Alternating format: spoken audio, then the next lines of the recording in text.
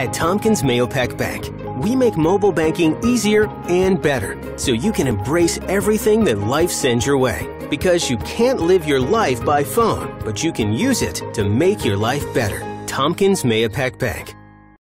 A two alarm fire ripped through a town of Newburgh building Wednesday night, but luckily no one was hurt. The blaze, which began sometime after 9 p.m.